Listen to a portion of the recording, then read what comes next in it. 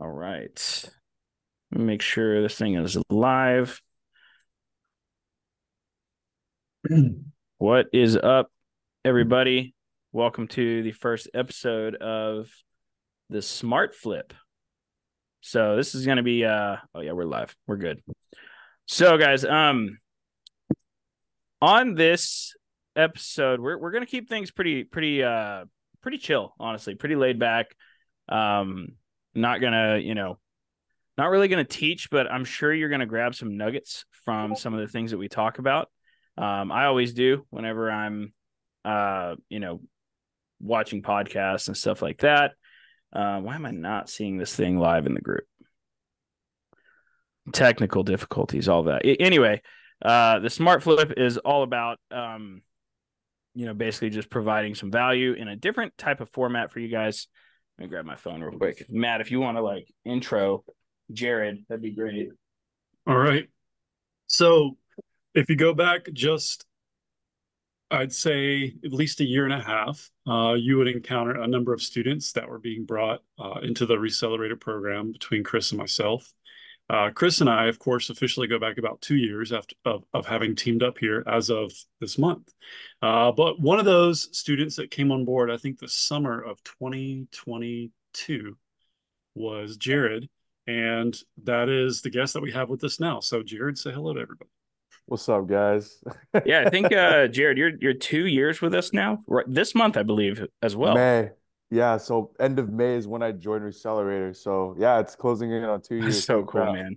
That's So- It's pretty great. I really love like this because like like I'll I'll be real like March of I guess it was about 2022 was when Resellerator really started taking off.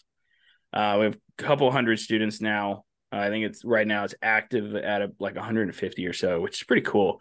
Um and it's really cool to see how that's grown, how Resell Deck has grown, how all of it has grown over time and brought on Matt, brought on Aaron, brought on Tyler, brought on Kayla. Like it's so cool.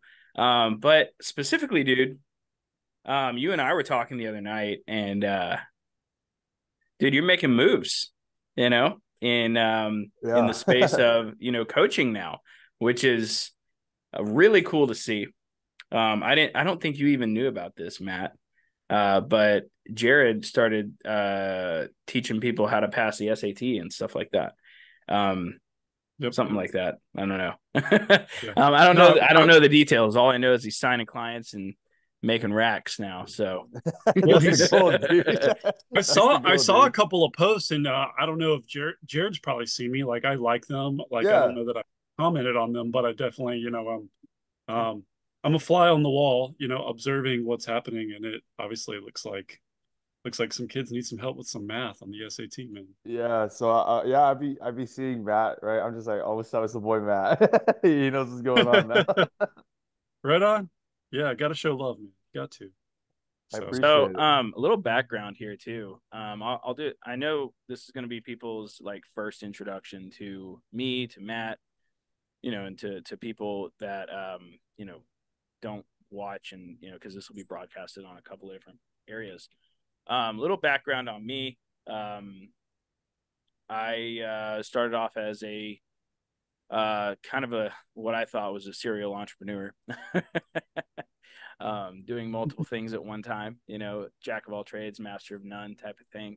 Hmm. Um, really, uh, really though, I come from uh, a shrimp boat uh, family type deal, um, where we worked on shrimp boats when I was younger. Um, my dad ran a shrimp boat, put my mom through college, and she became a nurse after all of that.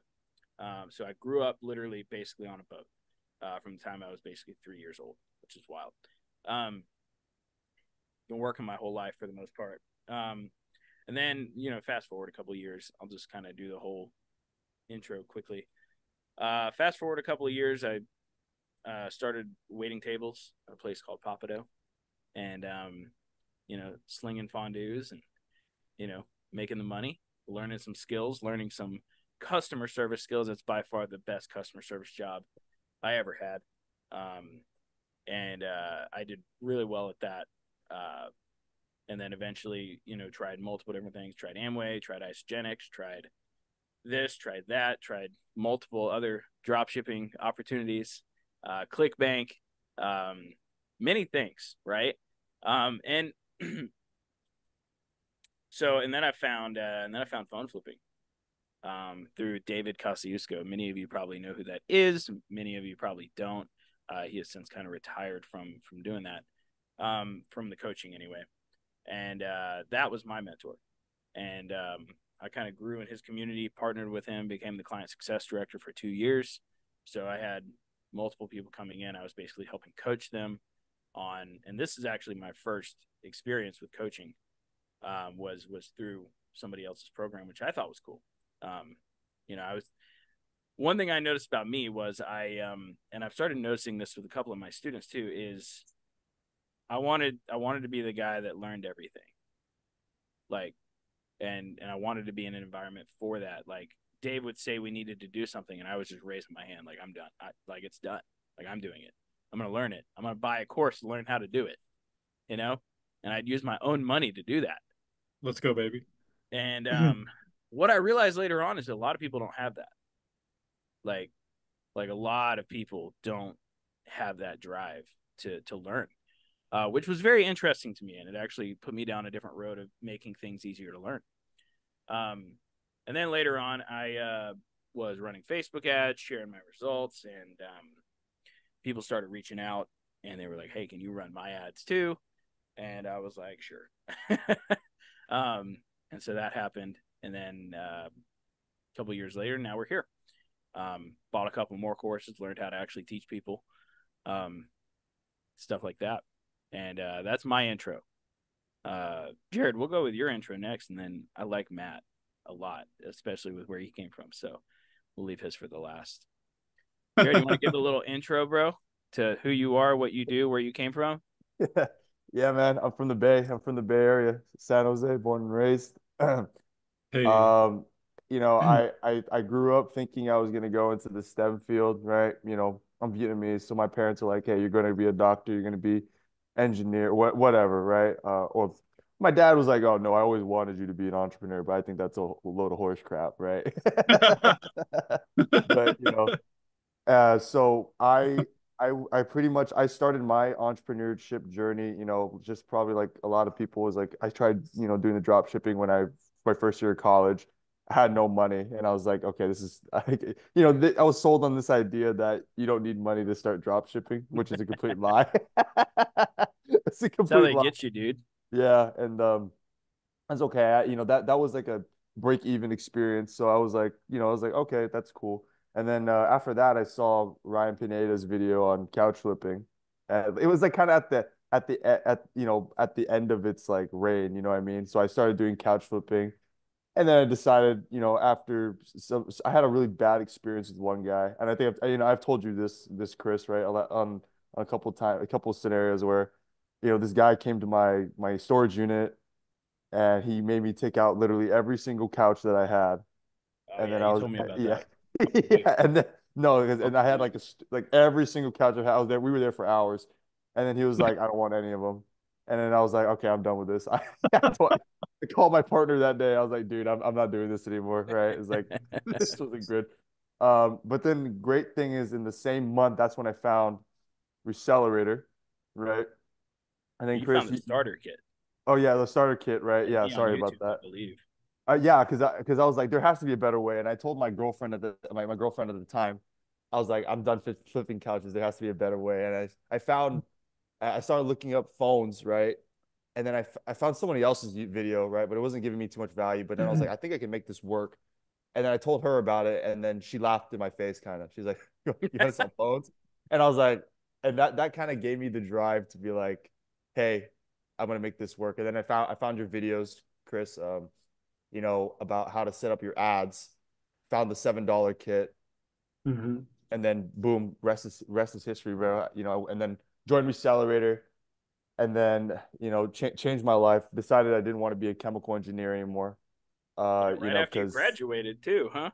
well, th- well, I, w- I found I found this in my junior year of college, bro. So I was like, I had two more years. I, I was already like on the path, like, oh man, what am I gonna do with this? I hate engineering. I hate STEM.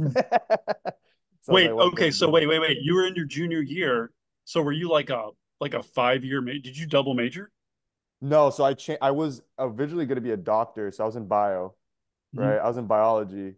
My sophomore year, I was like, biology Gotcha. makes you no money, right? Unless you become a doctor. So I was like, I'm gonna do Yeah. engineering because at least you have a potential to make, you know, six figures. Um, Yeah. so finished engineer, you know, I was in engineering, and then even after after the, you know, I even I lost my my eBay account last year, as you know, and Right. you know that kind of Yeah. set me through like a right? I didn't even know I didn't know what I was Yeah. gonna do. You know, took Uh-huh. up sales for a little bit with Chris and you know another program, and then decided I wanted to do my own coaching. So that here that's I where can I I uh drop in on that real quick? Yeah, that's like- it. So I remember specifically when that happened, and and you were like, like you were asking if you could, I believe, sell Resellerator, and I was like, yeah, absolutely. And and you were like, I don't know anything about sales. and I was like, well, I got a course.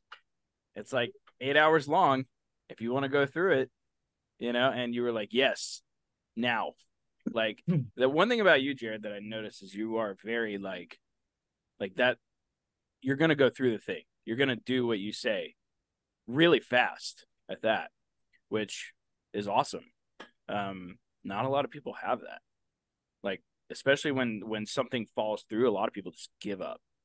Like eBay suspends them, they just give up on the entire business model. We've seen it, seen it a lot. It, seen it a lot, yeah.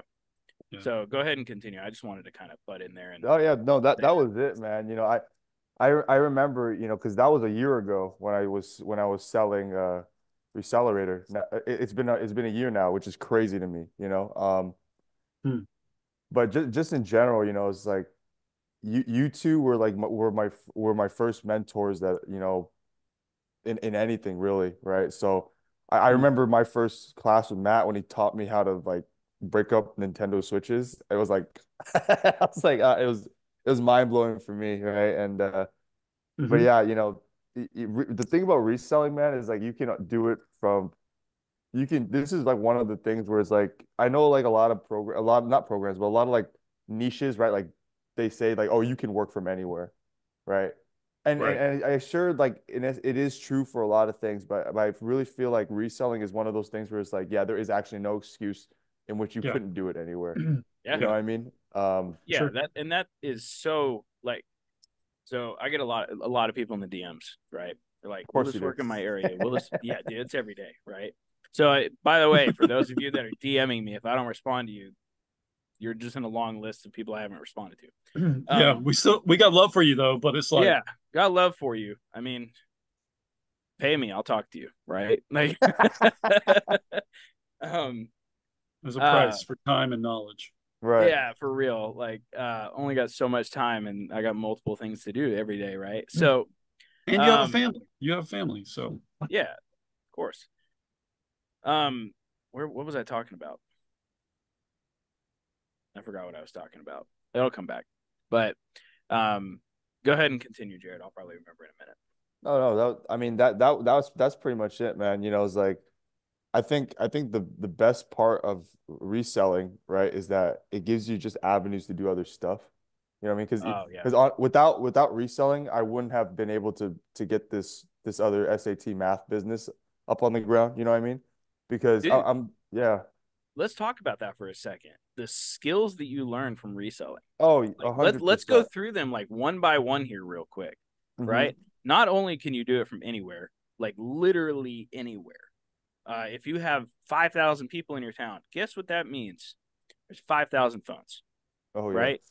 How do you buy 5,000 phones a month when you're brand new? No, you don't. The likelihood that there's somebody else in that area that's going to do that is very low. That doesn't even bring into like account the Nintendo Switches, the game consoles, the VR systems, the this, the that, the like all this stuff. cameras. Like, Yep. yeah, like there's there's there's money everywhere once you know how to see it. It's Like true. that that's the key there, right? But let's go over the skill sets that you learn from learning how to flip phones and electronics and stuff like that. What what would you say is the number one skill you learned Oh, like, oh, the the number one skill I, I already knew off the top of my head. It's getting used to people saying no to you, bro. Like that that is that is the number one skill, and and you know just like messenger conversations, right? It's like it's You're a little welcome. different. yeah, thank thank you, thank you, right? Because when you guys, because you know before before before I started reselling, right, I was like. I was like nervous, you know what I mean? Like I had like my balls were in my stomach type of thing where like whenever I would like whenever I would ask anybody a question, right? And this could be for anything, right? It could be asking a teacher for help, whatever, right? I, I would hate Yeah. just oh, yeah. talking or just asking, right? And you know, most and like you said, nine out of ten times people are gonna say no, right? And of those nine Yeah. out of ten, two of those guys are gonna tell you to off, right? Like they're gonna tell you to f off. you know what I mean? And they're not gonna be nice about it. Yeah, you're Um, not wrong. So that's that's the number one thing, right? And you know, of course, I could sit talk about like, oh yeah, messenger, right? I could talk about you know, reach out, stuff like that. But the number one thing that reselling teaches you is like, dude, like you have to go through, you have to go through a sea of no's to get to a yes. So don't Mhm. look for the yeses, just comb through the no's. You know what I mean? Like, because like, if you have like a bunch of seashells on the beach, and there's like ten of those seashells that have a million dollars in them you're not gonna try and find every single one. You're not gonna look for the ones that are in there. You're gonna you're gonna go through the ones that you know don't have the seat, don't have the million dollars in it. You know, so it's so that by the time you do find it, you're like, oh, there it is. You know what I'm saying? Hmm. So that that's like probably the number one thing is getting used to and yeah, getting used to to hearing no because because even in in coaching, you're gonna you're gonna find you're gonna have like a trillion no's, right? So ah, until mm-hmm. you find the right client. Dude, Um, it's so yeah, uh, in coaching, it's like one out of 150, right? Yeah. Like, and that's that's the people you talk to. That's not leads, right? Mm. Like, it can be 300 leads, 150 of those you might talk to, and then one of them might say, "Yes, I need help," right? Because most people just admit that they that most people would rather admit that they don't need help, right, than say they need help. Right. Right. Most people need I need help with most things, right? I needed help with most things. Um, and that's okay. Right. Like I've paid thousands of dollars to mentors and courses and Yeah. because I needed the help. Like I didn't want to learn it on my own. Like I could have. Like I could have like spent the countless hours going over and over and over. Like how many how many I mean, let's just take this into account, Jared. Like how many videos on YouTube did you watch? How many hours did you spend with, you know, looking for a nugget, right? Looking for something that's that I probably could have just told you, you know? Yeah. No, no, you- no, you're right. You're right. You know, it's like because before I found even just a starter kit, I was like, I, I- you know, it, it took me a while. Just I, I, I, before the starter kit, I never, I never got a phone. Right. I didn't even know, I didn't even know it was possible. Right. So, There you go. Yeah. right. Wow. So same, same saying thing, same thing with, um, Yep. Same thing with the the current guys I'm with right now. Right. Um, the teacher project. Right. They they helped me with the, they helped me with everything as well right? Before them, right? I was trying to do it on my own. I mean, Chris, man, I tried. I mean, I freaking told you, right? Like I was like, I, I was like, you know, if I didn't have reselling, it probably would have been out of business quick. You know what I mean? Because the reselling just funneled straight into that, and you know, I was just trying to do it on my own, and I was trying to go with the wrong mentors, right? And when you know, when you find the right when you find the right one, right, that can just tell you straight up, like, hey, you know, it's like you don't have to go through those hours of content. You can just, like, I'll just tell you what to do right now. Like, Yeah. it's it's it's game changing, bro. It saves you, it saves you like thousands in the long run. You know what I mean? I wish I just honestly, I wish I I I, I got a little cocky. You know what I mean? Not cocky. That's not the right word. Um, so I found that whenever you have a certain level of success within a certain thing, you start thinking that you can do other things really well as well. And I went through that a few times now. Like whenever I learned chatbots, dude, I thought I was a freaking, I thought I was a ninja. But now, like, I'm not. Like the game has changed again, right? And there's Mhm. only so many games that you can learn, right? And that is something I've come to realize. Like I can be incredibly proficient at certain things Mm-hmm. um, and and something that Hormozi talks about a lot is the first 20 hours you become proficient. Like that's that's all it takes to become proficient at one thing, right? So for those of you listening, if you haven't put 20 hours into reselling or flipping anything, then you don't you know, of course you're not going to be good. like you're gonna suck. Like that's just the game, right? If it takes 20 hours to become proficient, the mastery comes after that. Right. And now, and the thing with that is like, I say reselling, but I actually mean 20 hours of negotiation, 20 hours of reach outs, 20 hours of selling stuff online, 20 hours of this other thing. Right. So, mm-hmm. like, that is the game like becoming proficient at all of those things and then becoming a master at certain things. Look at Aaron, for example. Like Aaron is supposed to be on this podcast. He sleeps in, but you know, he's a master at negotiations because he spent so many hours doing it. Yeah. There, I think he's up to 45,000 conversations now total. Can you imagine the skill level that gives you? Like, dude, I can't even imagine. I can't even imagine that, man. I look at the phone for an hour. I mean, sometimes I just get tired of looking at the damn screen. So I'm like, I'm like God, 45,000 45, is like. I feel that, man. I feel that amount for sure. Yeah. Well, yeah. I want to I want to pop over to Matt. I want Matt to tell his story real quick, and then we'll just uh we'll just we'll just talk about the random stuff of reselling. Oh hell yeah, I want to. Uh, cool. Matt, if you want to give your background, dude. Um, yeah. Well, I I definitely want to share that. I there were two little sound bites though that I just uh had me curious, and so like for for Chris for Jared, and then guys, I'll I'm happy to share my story. First thing, Chris, you said that people just started like asking you, like, "Hey, can you run my ads for me?" For me. So, like, am I wrong in assuming that to a degree, part of what developed from Resellerator was a kind of a happy accident? It was just like people people noticed a skill set that was budding for you in advance of you even realizing, "Hey, I should start like a coaching like business." Well, that's usually how everything happens for me, right? Um, like I yeah. become pretty good at something right? Mm-hmm. And then mm-hmm. people just come and they're like, "Hey, can you help me with this?" And that that's just kind of how it happens, and then it turns into a business magically, right? Like that's just kind of what happens. And then, so right. a good example of this is like, uh, the ads actually are the best example. Mm-hmm. Um, yeah, I was I was just getting good at Facebook ads. Like I was obsessed with learning how to get good at them, and mm-hmm. I was doing really well. Had my first ten grand in profit month on Facebook mm-hmm. ads alone, no reach outs, none of that. Mm-hmm. And.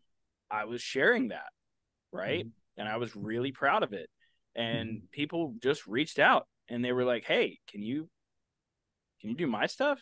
And what mm-hmm. that led to was like I mean, I guess like and then and then I did it. And I still remember my first client. I charged him 97 bucks for one month to run his ads because I didn't know I didn't know what I was doing you know? Right. Yeah. Yeah. Yeah. and I was like, I mean, I'll just take the ads I'm using for me and use them for you. And yeah. And that's what happened. Right. And yeah. uh, after that, um, I jumped into some marketing courses. I bought Billy Gene's course. I bought clients and community. I bought, mm. I just really dove into marketing, found a love for it. And right. I think, you know, people pay you for what you love. Right. Like, mm-hmm. yeah. like you can see when I mean, you guys, you guys know I'm I like marketing. Like that's my thing. Yeah. I enjoy it. I study it. Kind yeah. of a tad bit obsessed with it, right? but yeah, that's kind of how. Yeah, just it just evolves, man.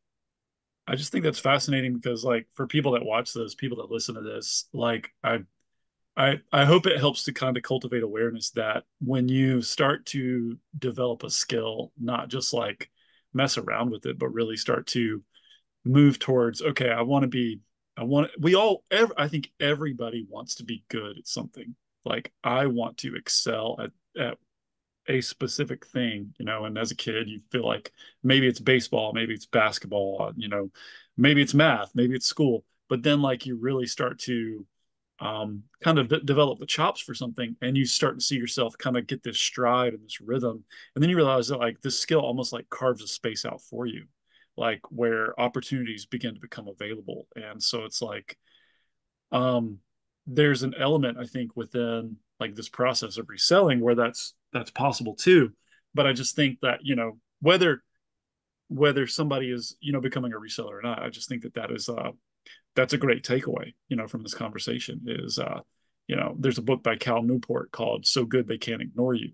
And uh if anybody's listening to this hey you guys should you know go check that book out because uh, it's pretty it's pretty great. Um, another book by Malcolm Gladwell called Outliers, which talks about um, just you know getting in that. This is a, a, first original book that talked about that 10,000 hour concept that maybe uh, you've heard other people plug and talk about. Jared my question for you and i know i still got to come around to myself um, i just i hate missing these moments. I love good stories and i think we all do. Is like yeah. what for what for you man is like i'm over here i have a i have a pencil. Um, but i was curious like for you like what is that uh what was that aha moment when you started like free actually getting proficient at reselling, but post like I joined the uh, starter kit, like what was that moment where like you went, whoa, I think I've got something. I th- I think these guys aren't full of crap. I think this stuff actually works. Like what Dude, was that distinct moment? That that was that's an easy one, bro. I it was literally my first phone deal. My literally my first pro phone deal. Um Oh, actually, there's I think there's two there's two moments, right? And, and Chris, okay. I think you're gonna you're gonna you're gonna like the the second one. The first moment when I sold okay. my first phone, I put it on eBay, and it sold in seconds, and I was like, I was like, no, I was like, there's no way, right? I was like, this, I, I, didn't believe it. I didn't believe it, right? Because because in in my in now I'm in my bank account, you know, it's like going to my bank account, I was gonna have a hundred bucks, and I spent twenty bucks on this freaking phone right? I was like, nah. I was like, I thought I, I thought a bot brought bought it, right? But then I checked the, I checked the, the, the You thought eBay had made a mistake. You yeah. were so in shock. Yeah, okay. because I was like, I was, I, I thought a bot did it, or as I was getting scammed, right? And I clicked on the, the page, yeah. and it's like, it's like one thousand five hundred um, feedback or whatever, right? So I was like, this is okay, this is legit. And then I just waited a day to ship it out just in case it got canceled. I, was like, I was like, holy shit! All right, oh. um, that was that's hilarious. That's that was so the fun. first time where I'm just like, hey, this worked. And that was, by the way, that was just straight from the starter kit, right? Yeah. Um, and then I made like I made like a grand, right? Just from the I made like eleven hundred dollars in two weeks. Yeah, and I was because like, you you were you were riding on that initial excitement, right? Mm-hmm. I still remember yeah. the first time one of my phones sold, right? Um, it was a Samsung, like a, it was like I believe it was a Samsung S6. Oh jeez, um, yeah, yeah, you forgot. You, yeah, you. OG, so I've been bro, doing so. this for eight years, right? yeah, so that that phone at the time was selling for like two hundred dollars, right? Um, I remember vividly. Um, I was at my job. Um, I was at I was at Pappadeaux. I was I was waiting tables. I went to the bathroom and I checked my phone and I saw, um, I believe it was one hundred and sixty nine ninety five because uh, Dave always told us to put 95 at the end of everything. And and I was like, "Oh my gosh. Like I might be able to get out of this place. Like I don't have to I I don't like I made money outside of of this job, like the place I've yeah. always made money, right? Or yeah. working some other hourly thing. And at that right. moment it became like real for me. Mm-hmm. And I was like, "Oh, wow." Like mm this thing might be legit. and uh you you know I, I I really wish you could relive like certain feelings again, you know? Um but like right. once like cuz cuz nowadays you wake up to like 3 to 4 sales at, at a time and you're like, "Ah, I got to ship all these freaking packages and oh, it's gonna take so much time out of my day, and I made too. Yeah, like you, you, know, like you get right. hassled by your own success, right? Yeah, like I woke up the other day and I was like, oh gosh, I made like two hundred dollars in profit off of a computer, and I was like, gosh darn it, I gotta go get a specific box for this computer and blah. Right? And, yeah. I was complaining to myself, right? And I was like. That's hilarious. And like like having this conversation now kind of brings it back to reality, right? what a great problem to have. Right. Oh no, for sure. Yeah, it's like okay. So I, have a, that. Yeah, that was one, Jared. You that said you one. had you had two distinct. So what's what's the second one? There's a second one. Um, but basic, basically, right, is like after you st- finish the starter kit, right, is like you you you know you get like a the call with Chris, right? So I hopped on that call with Chris, right, and I was like, this sounds great, but then I, I was a broke college kid. I had like me, I had like literally uh two thousand dollars to my name or something like that, right? Something something like under three k, like to my name. And um, you were you still know, couch flipping, right? You were you were college. Yeah, it was, it was like a, it was a it was a it was a combination of a little bit of couch flipping, and then also I was a I was a tutor for uh for for chemistry over at San Jose State University, right? Oh, cool. So yeah, so like, but but again, I was I was like I was like in no means to do anything, and I was like really bummed out, right? And I was like, ah, oh, shit, I really wanted to I really wanted to learn more. Um, right. But I didn't have the money at the time. So literally, and then you know, less than like I think it was like a week or two later. I forgot the exact timetable, but then I get a message from Chris. He's like, "Hey, dude, we're actually having a class right now, right? Um, we're actually having a class right now. Do you want to just sit in on it, right?" He's like, and he's just like, he's like, just just sit in. If you enjoy it, you enjoy it. If not, right, then no harm, no foul. So Yeah. I I, I hopped on that. on that. Yeah, I so I hopped I hopped on on that, right? And then and then you guys are giving classes on uh, on on like um just things I've I have never freaking like I was like I was like okay let let's let's see what this is about and uh, like there was just like I was like I already learned a lot from the starter kit program right I was like I was like realistically what what what else do I need to know and then I Mhm. went in there and I was like holy shit I don't even know what I don't know right so um so then off there after after off rip right you know uh, he asked me right uh, after we left the call. He was like, "How do you feel?" Right, and I was like, "Dude, I'm like, let's just do it." Um, so like I literally had like I didn't have like any money in, the, in my bank account, right? So I just, but I, I I put it on PayPal credit, and I was like, I'm just gonna take a gamble right now because the worst case is that like like I have six months, right? Um, I took the gamble, um, and it was it really wasn't a gamble.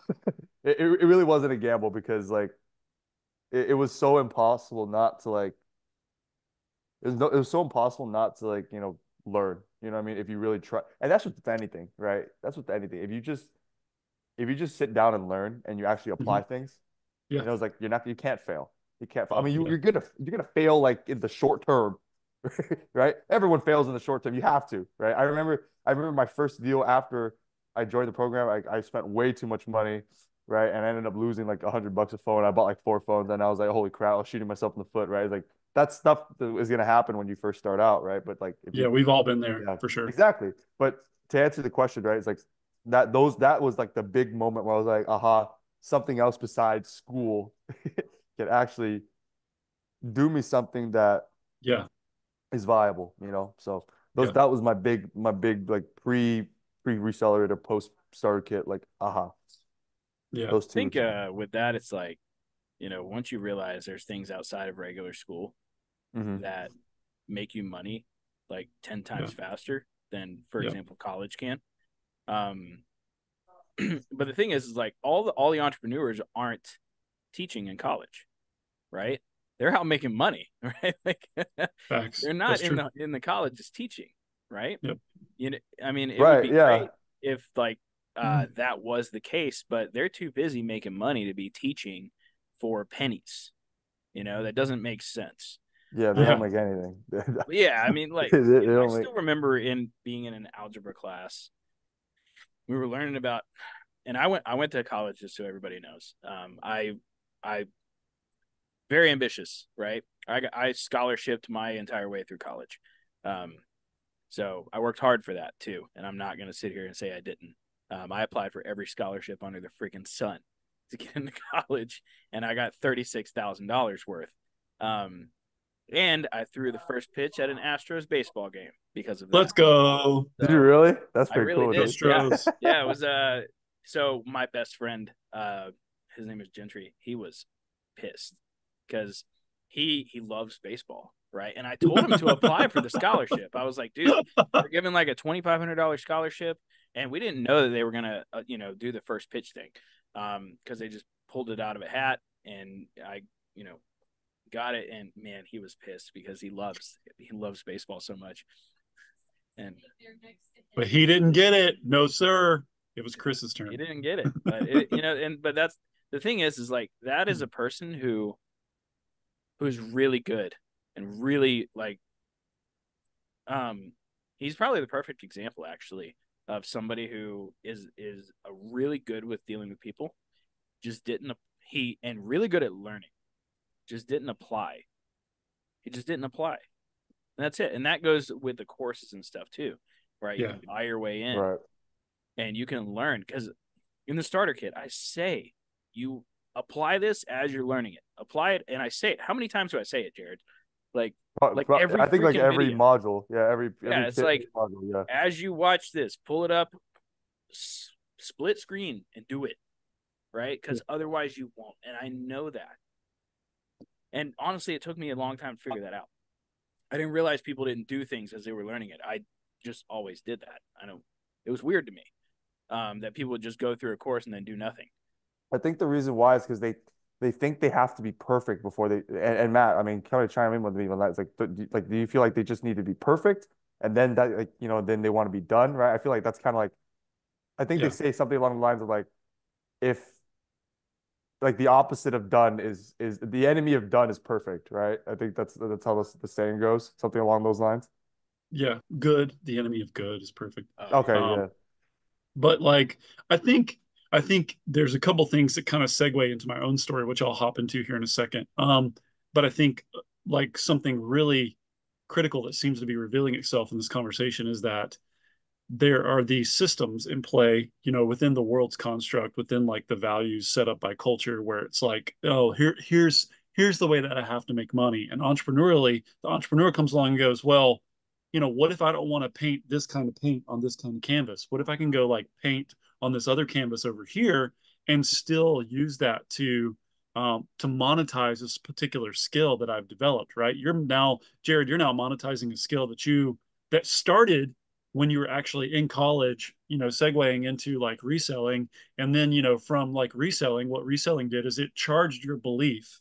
It gave you the confidence that you could step out of this arena of the world's normal systems, you know, education and, you know, go for a traditional job track and boom now you realize hey i've taken a course before. I bet i could take another course. I bet i could learn another skill that i could monetize just as easily as this. And what i think you end up proving to yourself just like chris did as a server at Pappadeaux is oh my gosh there's a way to do this outside of you know a track that somebody else has set up that ultimately let's be real if you're part of some other kind of business or institution like a school your capacity is going to be limited by the boundaries that are set up by that institution or by that other person's dream or business right? And it i don't think it doesn't mean that you know it's not it's a great place for everybody to learn but i think if you want to kind of prove to yourself like how far can i go? How fast can i run? Like how how um, well could i be at this right? Um, eventually you kind of have to step outside of the confines of that institution or that structure or that system and kind of start to demonstrate and prove to yourself okay let me let me figure out for myself do i have what it takes?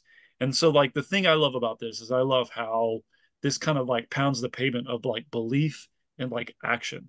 So like for me i grew up uh, in the deep south in south carolina and came from an incredibly blue collar family. Um, i guess you could say like very religious family as well. I still consider myself a man of faith, a follower of God and Jesus, and um, that uh, is something important to me because like having the faith, having the belief to think that I could do something was not something that was like highly like promoted like within my family. Even though I'd say you know like oh know, strong faith roots. Like I watched my dad work insurance for 18 to 20 years. I watched my mom work at Fuji Photo Film. Uh, they had a great you know plant within like my my city.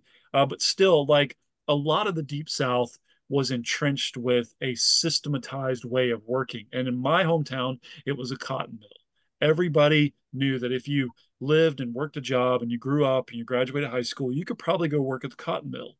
Until that those jobs began to be outsourced overseas because the labor cost was cheaper or because of this and that you know but for whatever reason, when that began to kind of cave and crater, you began to see literally the economic and the demographic construct of my hometown change, right? Like people didn't have the job security that they had before. There was no guarantee that somebody else's uh, ambition or business was going to be able to make a space for you to live a good, comfortable life. So, what do you do when you run up against that wall? And for me as a kid, like I'm watching this kind of unfold. And so, I grew up playing soccer, did incredibly well with soccer as well in the classroom. So, I scholarshiped my way through undergraduate, and uh, I was a goalkeeper because I'm 6'5, uh, about 220. And oh, I did not know you were six five, dude. yeah, I'm a I'm a I'm a tall I'm a tall guy. So in a room, you'll you'll notice me, right? I can never hide at prom, you know, dancing. It was like, hey, who's that guy? It's like, you know, uh, sorry, look awkward ducking behind other people. And so yeah, I I played uh, college soccer as a goalkeeper. Um, my parents did instill like a a tremendous work ethic, like you know, push yourself, push that effort. Um, and I found that I had a guy who was uh, when I was 12 years old um, ended up being my college coach. He took me under his wing and he started to train me.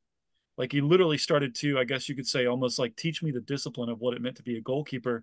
And I would go out early in the morning, like 12, 13, 14 in the summers. The grass is still wet, but I'm out there just kind of, you know, slopping around like the front of the goal, like blocking shots and just working my tail off uh, to put in this like hustle. Um, and I ended up, you know, being the first college graduate in my family. Uh, graduated with a degree in visual arts. A lot of people don't know that. Uh, graphic design, all that kind of stuff. Uh, art making is still a passion of mine and something that I'm kind of starting to get back into. But it's not like it hasn't been my my my big mo. But I have you know paid bills here and there, you know, with graphic design and stuff. Ended up going to grad school, got a degree in education uh, finished grad school, went into the classroom. Uh, I'll tell you guys a, a, very funny part of the story when I went into the classroom. Part of the reason I went into the classroom is I wanted to entrepreneurially like step outside of, uh, you know, having graduated and say like, you know, dad, I, I want to go make my own art. My dad goes, are you sure that that's going to pay the bills? Are you confident? And it's funny, his confidence impacted mine. Yeah. Right. And so it's weird, like modeling leadership. The reason, like the thing I think about is like as a dad, as a husband, um, and as like I guess like you know a, a leader within like a niche of uh, reselling is like you know you're you're modeling whether you want to or not. Like leadership leads up or it leads down, and so it, it immediately made me aware that like my father couldn't take me somewhere he had never been. And I don't hold that against him. He didn't know what he didn't know, but he was concerned or worried that his son wasn't going to have the money or didn't have the skill to pay the bills, as some people might say, uh, just through my own like art making ability, which I would have told you at that point. Like I, I won best in show my senior year. Like I was very good, you know, at this skill. But I, I, the thing that that my education didn't teach me was how to take this and have it pay the bills. Like how do you monetize the skill set in such a way that people want something you have because we all know you can have the best idea in the world but if you can't sell it you don't have a lot. And so like chris chris's skill with marketing i mean is like the you know that's the linchpin between like hey i've developed a skill to where now i can present a skill to other people like a guy like you jared and it can become something that can actually put food on your table. So like I didn't know all of this, right? I learned all of this literally by myself, you know, having to backfill the ignorance and lack of information uh, that I had moving forward. So, I, you know, I went to the classroom. Uh, then, you know, I noticed that a lot of students didn't have mentorship, so I got involved in ministry, and I worked either in the classroom or the or the local church for literally like the next twenty years. Um, and this this season of life only ended like a year ago. Um, but I felt like there was a commitment and there was a call upon my life to go help teach um, and mentor and help students walk through these spaces. I worked in some really tough spaces. I worked in spaces where, you know, there was a lot of absentee parents, uh, a lot of students being raised by auntie or mom, you know, just mom only or, or grandma and grandpa, you know, and it's just like, like broken, fractured family dynamics is what I became very familiar with for about three to five years of my life. And so I've seen students walk through like really tough situations, right? I, I had a student who was, you know, when she was in ninth grade, she was diagnosed with Hodgkin's lymphoma. She had cancer, right? And a Spanish speaking family. So I sat with that family, you know, for about a year in the hospital room. Uh, grateful for my, you know, Spanish teacher in high school, Mr. Rains, who taught me Spanish. And, you know, I got to use that to be a benefit. So I like, I sat with people through hard things. But the thing that was always resonating with me is like, okay, how do I, how do I give my family something that I don't feel like I, I had, which was knowledge of how do I make money work for me? Right. Because I know I can work hard. I know that I've got skills. I know that I've, you know, done enough to like stand in front of people, like things that I don't think I've ever told Chris or nobody will ever hear unless they're listening to this podcast. Like I've coached high school soccer. I've actually even coached division one soccer. Um, and so I've, I've, I've done some of those things that I think a lot of people is like, oh yeah, this is where I want to stop and like park myself and live and exist for a long time but the thing for me is I wanted to be able to, I just wanted to be able to wake up. And if I wanted to make a decision to, you know, bless my family with a, you know, a, day trip or, you know, go put $200 in my parents' hands or just be um, a generous, open handed individual, I didn't want to be confined by the constriction of these world systems and somebody else's uh, business or idea uh, I didn't want to allow that to have so much persuasion on my ability to make those decisions, right? Um, and so that that that was a deeply ingrained frustration for me, and that's when uh, my wife, who was working, we we we left a position. I left a position in South Carolina. Uh, literally, my father was diagnosed with liver disease uh, back in 2017. Uh, he just recently passed about 10, 11 weeks ago, and uh, but he he at the moment that he was diagnosed with that, I was like, okay, I'm gonna I'm gonna go back to to Tulsa, Oklahoma. I'm gonna move back from South Carolina. I'm gonna go take care of my parents. And when I made that decision, I moved there with no house, no car, and my wife and I had no jobs, none of that. Right. And we cruised into town kind of on fumes, like literally borrowing someone else's vehicle. Uh, my wife got hired with a position within like two weeks. I said, I'm going to get myself a job working as a graphic designer. And I did. Um, I actually ended up transitioning from that job to another teaching position because it was in a really great environment with some really rad people. And I did that for the next six years and took care of my folks. Now, two years into that job, I came across two courses. I came across uh, a group called Flea Market Flipper by Rob and Melissa Stephenson. Shout out to the Stephensons, they're great people. And then also David Kosciuszko's uh, reselling group. And within that group, um, there were other guys obviously rubbing shoulders with David Kosciuszko. Obviously, Aaron was there. Feldon was there, NYC phone buyer, um, and Chris. And the cool thing about that is all three of these people I would describe as like remarkably successful within the space of reselling. Um, I didn't know all that. All I saw was a bunch of people like flipping electronics, and I thought that was really cool because gadgetry and electronics are neat. And I was like, cool. Um, a lot of people are reselling phones. I'm I'm just trying to make a couple bucks on the side. Like I'm still teaching. My wife she was working and then she was released from her position and i was like i got to start making some money. I tried a lot of things. I was like even looking at doing some courier doordash stuff but ultimately what i settled on is the very first time that you could uh, bird and lime scooters were in my city i was like one of the first people to sign up for that and i was like all right cool. I'm going to do this. I'm going to make $10000 like charging scooters which i literally did um, and it, it, was, it was it was nuts. Like i was like i would get up at 6 30 in the morning uh, before I started charging the scooters, and I would like set, I, I would like, all right, let me get my kids up, let me go to work, let me do like the teaching thing. I would leave that. I would come home. I would help my family unwind. I would leave the house at 8:30 or 9 in the evening when those those scooters could be picked up and I would be gone for anywhere from 2 to 4 hours trying to grab as many freaking scooters as I could and I would put them all in my garage. At one point I had my garage filled like 60 to 80 scooters. Oh my Jesus, right? dude. Your but, wife must have been pissed. she, she was, but at the same time she knew that what I was doing was not born out of desire, it was born right. out of necessity. Yeah. Like I'm doing this cuz I have to because if I don't my squad's not going to eat as well. Right. And doing that hits you in the gut. When that punches you as a man, like you're like, what what yeah. am I about to do here? Hundred you know? percent. Yeah, dude. I like... don't I don't have time to complain. I don't have time to think about how I feel in this moment. I've got to act and I've got to do this. And if I don't, then the people that are in my wake are going to suffer. Right. Crazy part is that's where the wins happen. Like like you, yeah. you, you said it the other day, uh, to me actually. Necessity breeds uh, innovation, right? Yeah, and yeah. it absolutely does. Um, so continue on. This is great. Yeah.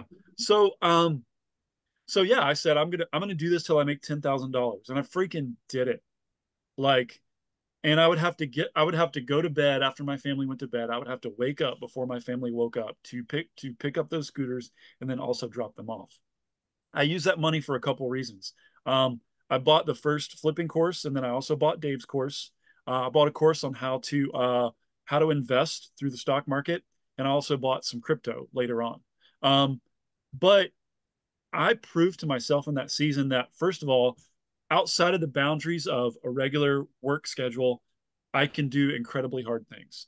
Um, and uh, I think that there's a season that people can do that. I don't think you can do that like for an enduring long time because you'll just like melt yourself down and like become yeah. worthless to everyone around you. But you can. Um, I did that for eight or nine months, and then I had I ten grand, and uh, I I I bought I bought the first reselling course, and I was like, I'd flipped a few things on eBay before. I had like 21 five star reviews on eBay, but I had my eBay account since 2005. I'd sold some toys when we moved to make some side cash. you know, to to do things in that and pay some bills.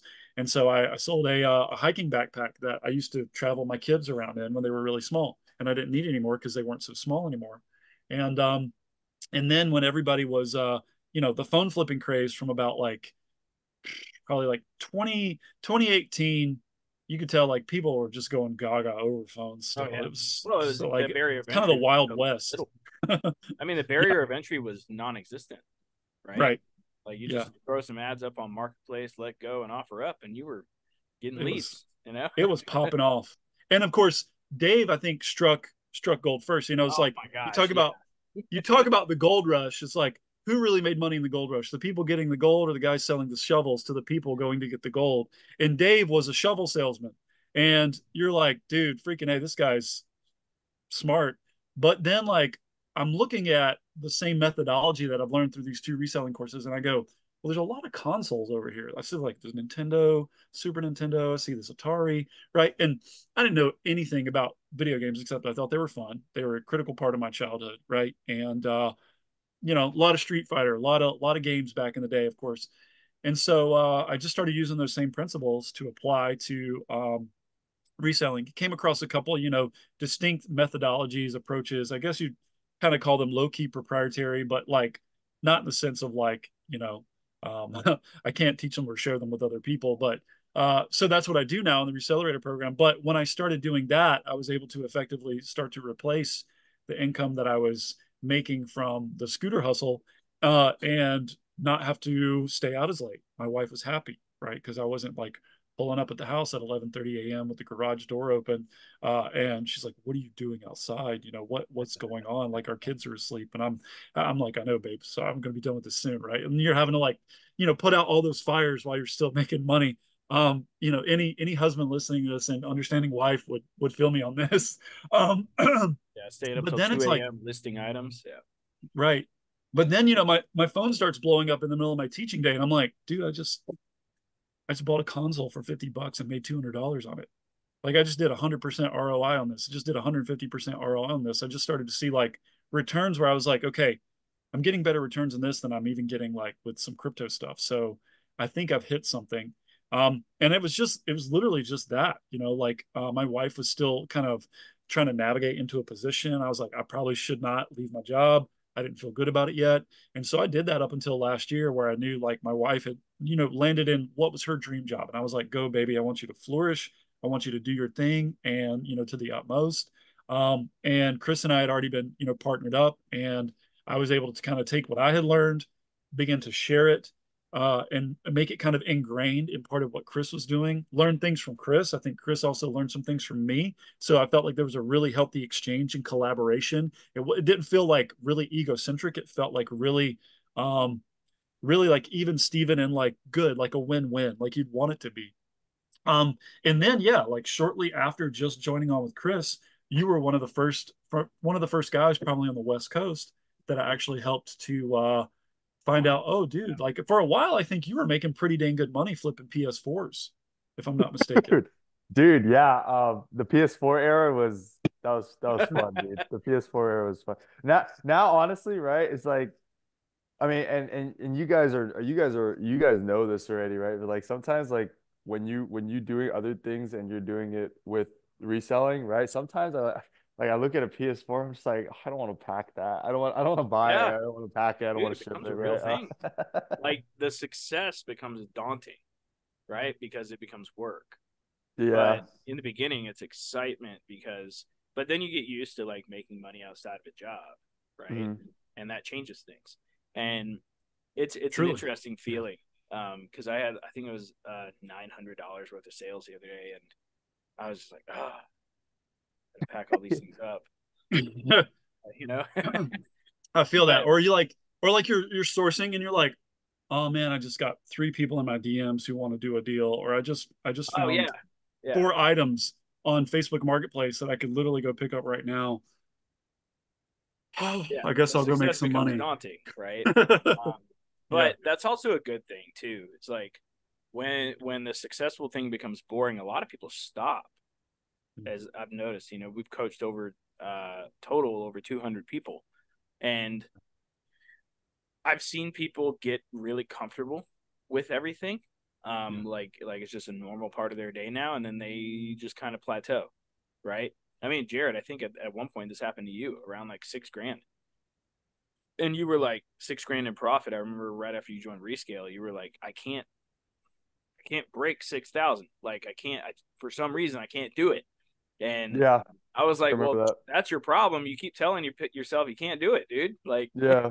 And then And right then- away, and then you know, and then right away, like that mind shift, shi- that mindset shift, like that's how I hit, you know, that's how I hit my 12K month, right? It's this, you know, and I still remember that. I still remember that month very fondly, you know. Um, and I, I've always come close to it, but I haven't, haven't. It's, it's like, uh, well, you know, it's oh, like there- I'm there's your problem again, bro. Yeah, I'm just thinking I can't, right? Yeah, there's another one, right? But yeah, I, I do remember that. I do remember that, right? Yeah, I It's- mean, remember same us thing having a conversation. You were we were on the Zoom and you were like, I can't get past this, and I'm like, that's the problem is you keep Mm. saying it, and Yeah. you know, our so I like I like to visualize things a lot. I like to like things that we say. I like to actually visualize a neural pathway being created because that's what happens. That's how habits are created, right? If you Yeah. guys read Atomic Habits, you'll learn that. Um, there was a guy who literally Good had read. brain damage, right? But they realized that he had created habits like before his brain damage that he would just go and do. And even after the brain damage, the neural pathways were still there. And so he would just go do them randomly. Not, didn't know why. He just did them. Right. And that's kind of Hmm. where you, where you want to get to the point with within business too is like your your neural pathway is already built. Like you want it to become like a highway in your brain that Hmm. you know it, it's just a normal part of your kind of routine at that point. Um and you can you can take that to learning as well. Like i like i like to view it almost as like like almost like little electrons that like flow through the highways right? That's just a visualization for me. Um as i feel like i'm getting better at something it feels like that highway is widening up for me um and to me it's a really i like to really visualize things like that. Um and it just helps me learn right? So yeah but um i want to go back real quick to matt you were really into sports like soccer and things like that. So was i. Um, Yeah. we, i went to a very small school. So my school had 26 people graduate in the class. Oh wow. Yeah, like small. i'm talking small right? Dude, so so it's funny right? I i recently uh went to the our high school graduation uh like 10 year reunion like last year. And uh something became like super apparent to me there. Like like number one like everybody had grown right? Everybody looked a little bit different. Um and one thing that one of the guys who who was who was in high school with us who he had a, like a drug problem right? He had he had since worked everything out. He was working for the military now. He was doing well right? And he came up to me and he's like dude are you still doing like that that phone flipping thing? And i'm like yeah. And he's like haven't you been doing that like since you got out of high school? I was like almost yeah. And he's like dude, that's really cool how you can stay with something that long. And I was like, okay, it, it- that's interesting. And and then I kind of told him I was like, I mean, we're still doing that, but we're also like we're coaching people because they asked now and stuff like that. And you know, and then you know we got into the financials a little bit. He's like, it was kind of weird because he was like, dude, you're probably the most successful out of all of us. And I was like, I didn't know how to respond to that right? Like I didn't want to feel like egotistical about it um, or anything like that. Um, but it was interesting. It's interesting to see how people change, right? But it's also like if you can stick with something for an extended period of time, you just become known for it. Everybody notices at that point, Mhm. Yeah. right? Everybody Yeah. like like from high school that I you know meet in person nowadays, they're always asking. You know, they're always like, "Dude, I see your reels all the time. Like you're still doing that. You're still flipping those electronics." You know, and I'm like, I, I just do the same thing every day, man. Like, I'm like how? Like how is that? How is that possible? You know? But yeah, yeah, exactly, Jared. You know, you just keep going up and up and up and up, and it's Yeah. just it's not the fancy plays, right? It like in football, it's you don't win by doing all the fancy plays because you end up fumbling because there's too many variables, right? Yeah. But like if you just put two big guys in the front and you run right every time, you know, you make it, you know, two, four yards every single time, right? And that's how you win the game. Yeah, Matt Matt calls them base hits, right? You know, you, That's right, yeah, yeah, you call yeah. them base hits. You got you gotta you gotta get those base hits, man. Like everybody wants the home runs and the grand slams because that's sexy, but it's like we live we live our lives in the margin unsexy, right? Like we bookend our weeks with like, you know, what we're gonna do with the weekend. Well, what about all the days in between where we could be living awesome, you know, by just being satisfied with like things like, yo, today I got a base hit and that's all I needed. And that's good. Like, let me good job. You know what I mean? Like, hey, bucks. Made right? 100 bucks today. You know? I'm- That's how it I mean, starts. If yeah. you go and you're just like, all right, I need to make $50 outside of my day job today. Like that's how it starts. And then it becomes Exactly. 60 and then it becomes 80 and then it becomes 100. And like I woke up to $300 today. Right? Right. Like that I remember I still remember the first time I ever made money in my sleep flipping phones. Like Yeah. and I woke up to a sale and I was like holy crap i just and like back back then that was a huge thing right nowadays it's not so much a lot of people are making money online today right but like back 2018 i remember waking up and i was like i just i mean kind of right it was like halfway in my sleep right um like because i had to buy the phone still but it sold at night so i considered it making Yeah. money in my sleep Fair enough, dude. Fair enough. yeah, right on, right on. Um i was you know that was a game changer for me. And i was just like okay all right this is uh this is a real thing. So and then it you know it became now that's kind of the norm. Um and you know as you normalize things one thing i've noticed is as things become normalized you keep looking for different things to get into right? That's been a problem of mine. Like matt you were talking earlier about finding the one thing that you're really good at. I wanted to be good at everything which is a massive problem for me. like I've had to reel myself back in many times and have mentors help me like reel myself back in because I enjoy learning so much that it actually throws me off of what I'm good at. Yeah. Um have I learned a lot? Absolutely. Right? I'm good at negotiation. I'm good at appraising. I'm good at I'm good at pretty much the whole reselling thing altogether right? Just because I've spent so much time doing each part of it. Yeah. So But I, I, you know, I think here's here's something I'd like to say though, in in in kind of combination with that is like the thing about learning is I was just talking with a friend on the phone like a week ago, and he was saying he remarked how in a conversation with his university president when he was like, you know, about to graduate college, that his university president said, you know, most people go their lives and they learn up to about age 18 or 22, so high school or college, and after that, they stop learning. And they have you know 20 25% of their life that they live through but they got the whole rest of it.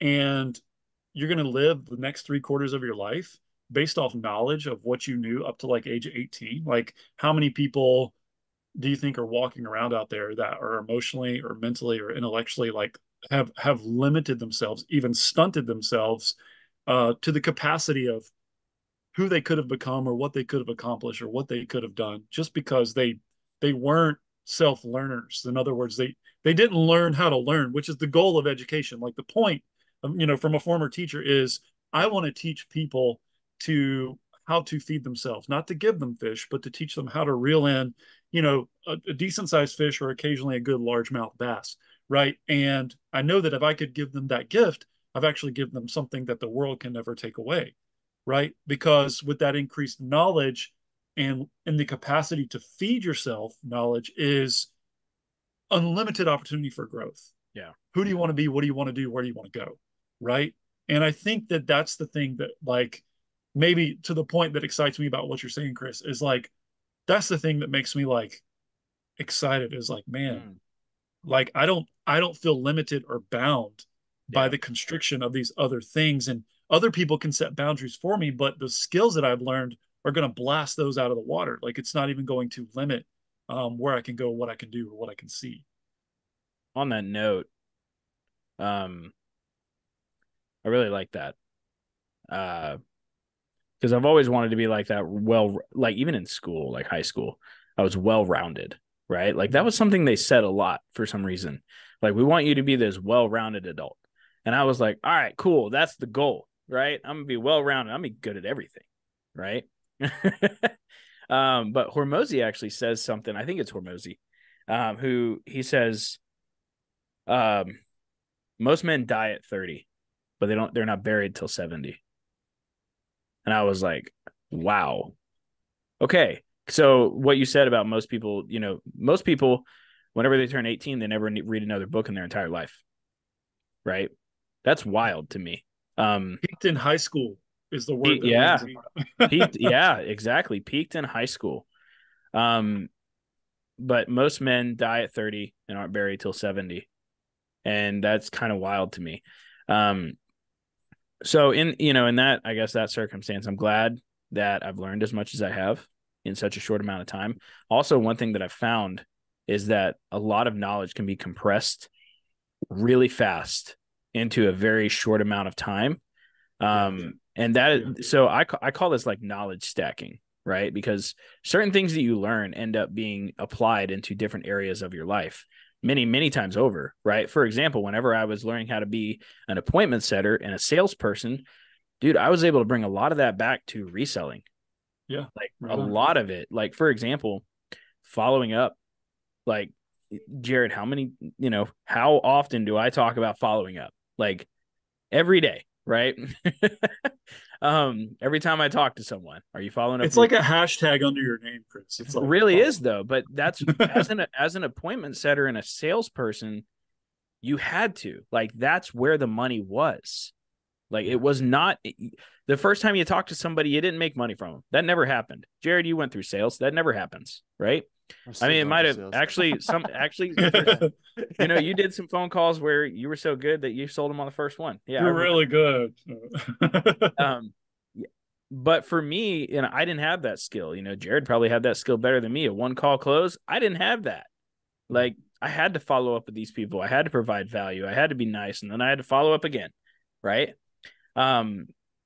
So that I, I brought that back to reselling. Um the planting the seeds, right? Like that's another appointment setter thing. Like you're planting the seeds to follow up later. That's what reach outs are to me. Like you're just planting the seeds. You're sending a whole lot of DMs in a short amount of time, and then you're following up with these people later, right? Yeah. Um, that's where the money is at. The money is always, almost always in the follow up. Your your your margin or your uh, your numbers will be much better in the follow ups than they will be in the first contact. So, um, but there there is something that I do call like knowledge stacking like you learn something at a, at a specific time and you don't actually use it till like three years later. Like that's happened to me many times. Like, for example, I took Billy Gene's marketing course four years ago. I learned indirectly many things from that course. I, I learned that number one, uh, most people have a incredibly short attention span.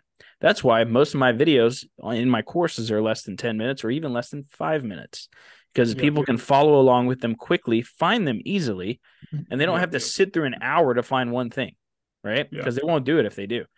So that was one reason. That was one thing I learned indirectly, and I learned that four years ago and didn't apply it till last year.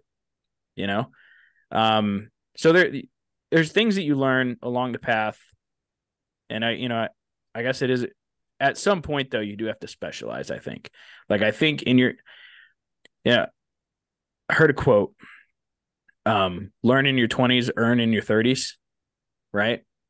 I'm 29 um i put in a what feels like probably 20 years during my 20s learning wise like learning many different industries coaching a lot of people won my million dollar group award like i've done a lot of stuff in my 20s that I just was able to stack and stack and stack and stack. And now as I'm getting closer to 30, my you know, my back's starting to hurt and you know, stuff like that. But you know, keep we're keeping the we're keeping the muscle and everything going, right? Like Let's go. But Chris, Um, you're ancient, bro. You're getting ancient. I know I'm getting ancient. I woke up this morning and my back hurt, my heel hurt. And I was Oh, like, man. what is happening? Like, I know I'm close to 30, but like, what? And because I, you know, we work out every day for the most part. Um, well, we're on 75 hard, so it's twice a day every day. Uh, but um, Noted. that could be a reason. I did Stairmaster for 45 minutes yesterday. So I wonder Um, why my back hurts. yeah, I wonder. I just wonder why, right? It's probably because of that. Um, but I want to add on one last piece to this because I know we got to wrap up soon. Sports have, I've noticed, have a dramatic sports and working out in general have a dramatic effect on how how good you are as an entrepreneur. Um, so for example, in high school, I had to play every sport because it was required because we had 26 people in our class, right? So so if if I didn't if if we all didn't play, we didn't have a team. this is is how the so game funny. worked, right? Oh my gosh. the you know the the whole school was the football team, right? All Wait, wait, wait. So does that mean you played football, basketball, and baseball like year round? Was that the three? I played football for two years. Uh, I I didn't play football the last two years just because um, I didn't I didn't want to get hurt. Honestly, the first two years I got hurt twice, and I was like, I'm done. Like I'm not gonna break myself, you know, and everything else that I want to do. So, but I did do t- football for the first two years. I did baseball. I did uh, track. I was the long distance runner in track, actually, uh, our main one. Um, so like I was the two mile guy. Like in high school, I was a long distance Oh, runner, Wow. but I was up. But I was also like a weightlifter at the same time. It was very interesting. Um, it's one of those things where it was required because if you don't have enough people, you don't have a team. You know, um, so you you got good at everything. uh, tennis, track, baseball, golf. Actually, interestingly enough, um, and whatever else there was. Honestly, tennis. I played one year of tennis, so we played everything. Jesus, um, dude. So That's but th- That's you know lot. that that actually comes back to like you know i'm really grateful for that i'm really grateful that i went to a really small school because i wouldn't have um i wouldn't have been exposed to all of those different sports like i played pickleball last time when i went to arizona i'd never played pickleball before but i played tennis you know? Yeah. me, me and a good buddy of mine you know we we cranked it out. We came in second but hey we want we you know we did pretty freaking good first time playing you know? So, So, it, it, Chris, I want, go ahead yeah. Well, I, I want to ask you then, like, eh, you got me curious because it's like, like as far as like, what space in your mind or your heart do you think playing sports then carved out that has served you well now as an entrepreneur and like business owner? Yeah. So uh the story that comes to my mind really quickly is you play until you can't. Right? So in entrepreneurship that's a real thing. But the cool thing is is the game doesn't end in entrepreneurship, right? It just keeps going. Um so we were at the area track meet one year and I was uh I was the 800 meter runner and um uh so that's two laps around a track, right?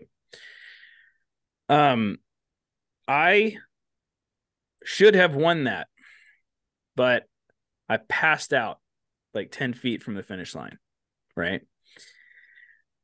And I remember Like that black- feeling like blacked out, like blacked, out, straight up Okay. blacked out. I was in first Okay. place the entire time. I was, I was, I was, I was going for the win no matter what. Like, but I blacked out, fell on the track, all of it, the whole thing.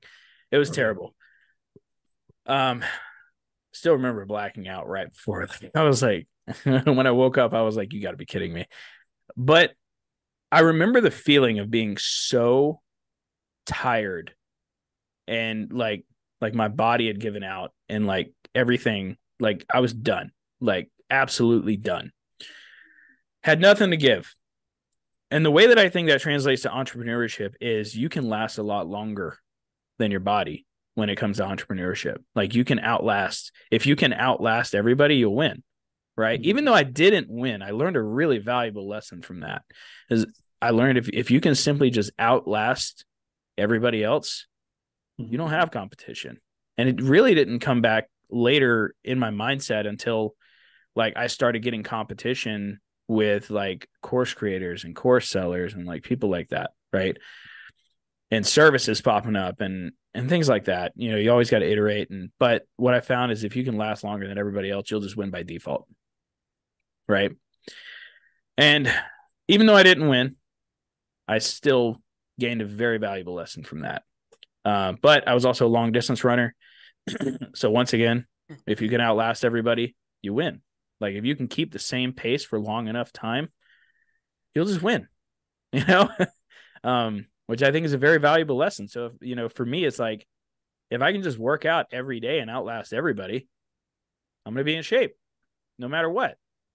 You know, so, and that's just kind of how I apply it to the entrepreneurship stuff now. It's like, all right, cool. So I just got to do these things every single day, make a video, make some reels, send an email. Like if I just do these things every single day, I'll outlast mm-hmm. everybody and therefore I have no competition. Same thing with flipping. Like if you do your 20 reach outs a day, you respond to your ads, you follow up with your leads, you do these things, you'll just outlast your competition. Do you guys know how long a phone flipper typically lasts in this industry? Less than a year. Usually it's less than three months because they get scammed on eBay and then give up on everything. Right. You guys know how easy it is to win? Like that's how easy it is to win. Yeah. if you can just outlast, then you'll win. yeah. So, um, I don't know if that was the answer you wanted, Matt, but that's the one I gave. So, no, that that's that's your response, and I think that that is so relative to your story, so relative to the well the the legacy of you know myself and jared both being privy to opportunities that have been made available to us as a consequence of your enduring spirit your persistence and your willingness yeah. to just keep pushing forward. Like am i going to solve all the problems that i have in my business tomorrow? No but i may solve the next one and i'm going to keep going from there. I'm going to get another base hit and i'm going to put yeah. something in play. It may not be perfect Okay, but uh, a poor plan executed today is better than a perfect plan executed tomorrow, and uh, I think it's it's about you know just consistently taking action, and I think it is the the easiest way to bust all of the fear that most people have surrounding their ability to uh, make money for themselves, to live a life beyond what the world has told them that they can live or that they're capable of live, or that even for myself and observing my parents uh, seem to be like, this is the life, you know, that lies ahead of you. It's like, okay, what if it, what if it could be different? And, uh, you know, entrepreneurs are just, uh, they're a lot like artists, except, you know, they use, they use money as their medium to paint something fresh and new that the world hasn't seen before. And I think that um, when you get a taste of that, whether it's like Jared, yourself, or myself, um, you find okay, like I really do think I might have what it takes. I think I want to prove myself wrong, you know, yeah. and and bust up this old belief system and um, find find something fresh, you know, stretch my legs and start to run in a way that maybe I feel like I was always meant to. One thing I want to before we end here, um, one thing, uh, kind of a mantra that I've set for myself to to make things okay for everything that I do is break everything and then learn how to fix it. Right? Like that's my kind of a mantra of mine. Um like if I can break the system and then learn how to fix it, that's the easiest way to learn it. Like um yeah. so, kind of like deconstructing a car and putting it back together. Pretty much. Yeah for the most part. Like for example, whenever and this is a testament to resell deck and why I know so much about it and how to work it and like how to yeah. add to things to it. It's because uh so GoHighLevel is what it's built off of, right? So whenever I joined GoHighLevel for my marketing agency oh four something years ago, dude, I broke everything in that system. Like the first day I had it, I didn't watch any videos, which was, you know, for for me that was dumb. Um, but I was like I had it I was setting up automations and it was calling people in the middle of the night and all kinds of stuff. Like I've done I didn't know too. what I was doing, man. Um, but that taught me a lot. Like it was like, okay, but I learned the system. Like I made a lot of mistakes. Yep. Uh, but I didn't have anybody to talk to. I didn't have anybody to ask questions um, about it. Like, and I could have, like, I had the options to do that. I just didn't. Um, but like nowadays, it's kind of like break everything first, then reconstruct it. For me, anyway. Um, a lot of people don't have that, and that's okay. Um, so outside of that, though, I just wanted to put that in there. It's like be okay with messing things up. If you're Yeah. not okay with messing things up, then you're gonna have a really difficult time learning things. Yeah. Yeah. So, No, that's Jared, good. any any last things you want to add to the end of this? No, man. You know, the, when you guys were talking about, you know, because I, you know, I'm a, I'm a little bit behind you guys in the terms of like, right, you know, right, you know, you guys are both, you know, you guys have a different outlook of on life right now because you know you guys have your own families at the moment. So it's like it was great for me to to sit here and see things from like a different perspective, you know, because right now it's just me. You know, I mean, I don't have any, I don't, I don't have a, I don't like realistically in terms of responsibility, it's, it's just me, you know. So uh, it was it was great, like kind of like just to seeing how things would be different in terms of perspective wise. What it Yeah. would look like, you know, especially since right now I'm still trying to figure things out. I'm still trying to like, you know, You're in a good Uh, spot, dude. I'm trying, man. No I'm lie. trying. Like you have you have the options right now to learn as much as you want for as long as you want and to condense as much information as possible in one area because you don't have as many responsibilities as, as your future self will, True. right?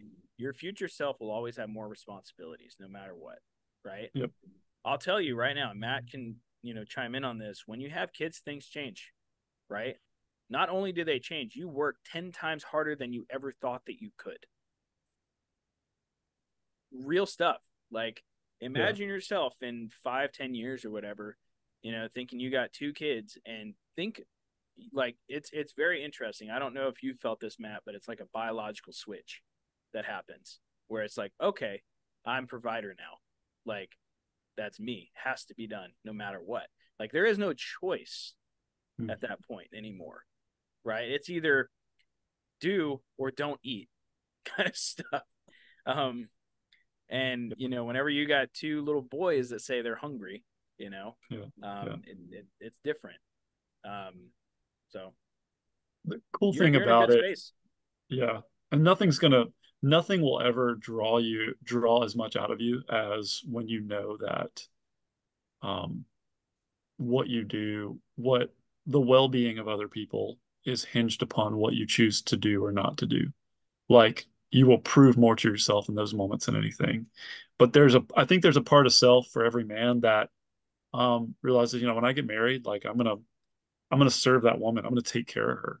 You know, when we have kids, I'm going to serve those kids. I'm going to take care of them. You know, there's, I think there's a rites of passage there. There's a responsibility to, to own that. And if for every kid that's ever grown up and, you know, has had a father that hasn't owned that, they, they have a story and it's probably a broken one. Um, and so like when you, it, at your age right now, dog, like you have the greatest capacity you'll ever have to fail, learn, and recover Yeah. like with like with such a rapid speed. So like my advice to anybody, you know, that is, you know, like Jared sit here and you're like, you know, late teens, 20 something, whatever, you're just kicking around, figuring out, still fairly figuring out stuff, but you've got a few pillars or things kind of foundations and footing set, but you don't know where the rest of the structure is going because you're literally living that out a day at a time.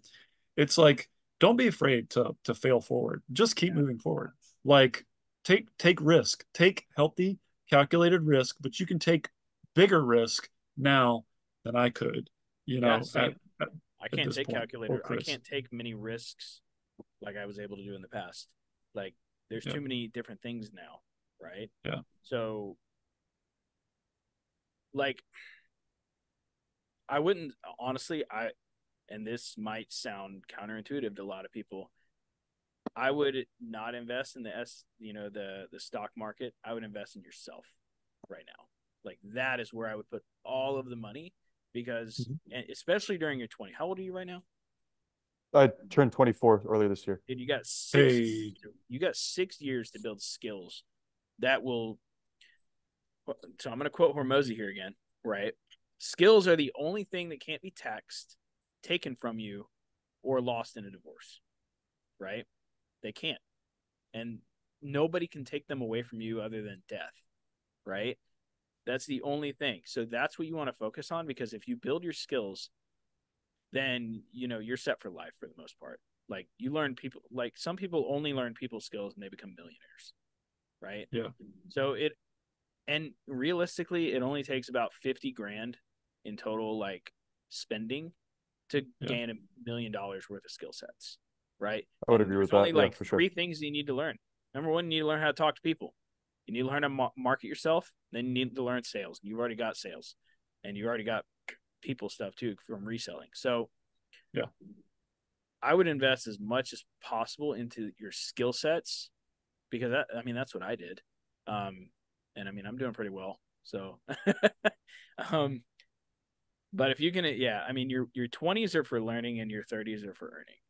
Um, and if you can kind of delay the gratification of having a big bank account until you're, you know, in your 30s, you know, yeah. I mean, I'm not saying don't get married in your 20s or anything either, right? Like, you know, there there there's a lot of Hey, she's out there, Jared. there's a lot of benefits to getting married early too. I got married 23, and I'm glad I did. And oh, I got married at 22. My bad. Gee, in my 20s anyway. We were 21. What year? That's how- awesome. Oh yeah, eight years. Okay, I'm right there. 29. Yeah. All right. Um. So Fantastic. I got married I at love it. 21. My bad. Um, I, 23 is a big year for me. Like that's where I learned most of my stuff. So I just kind of clump everything together. That's right. That's when Renan was born. Okay. So, um, but um, yeah, man. I mean, there, there's benefits to that too. Like having children kind of young. Like I'm gonna be in. I'm gonna be around 40, 42 when my son's it. My first son is 18. Hmm.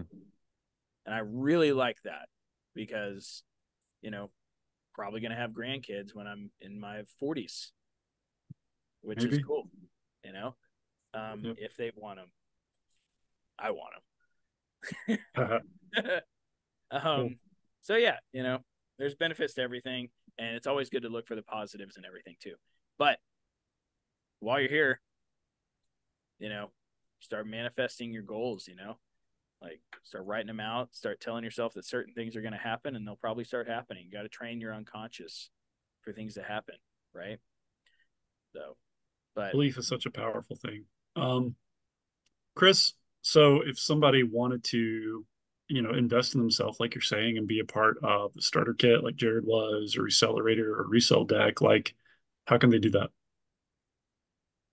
Um, so we've actually kind of put almost everything into resell deck now.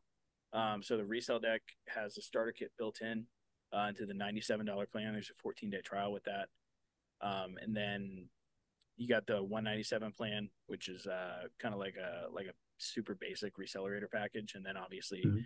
you can also book a call to work directly with me, Matt, Aaron, and you know get direct help, kind of like Jared did. Um, but that's how you know that's how everything's working right now. So outside of that, though, um, I think that's gonna wrap up. I know we went a little over. Sorry, Matt. Go have lunch, bro. We're good. Chris knows that I take my wife and kids on lunch dates pretty often on Fridays. And guess what, guys? I don't I don't make myself work on Fridays because I, I work for myself now and you can do that. So Yeah. All right. Well, we're gonna wrap it up, guys. You guys have a great day. Keep crushing, and uh, see you guys next Friday.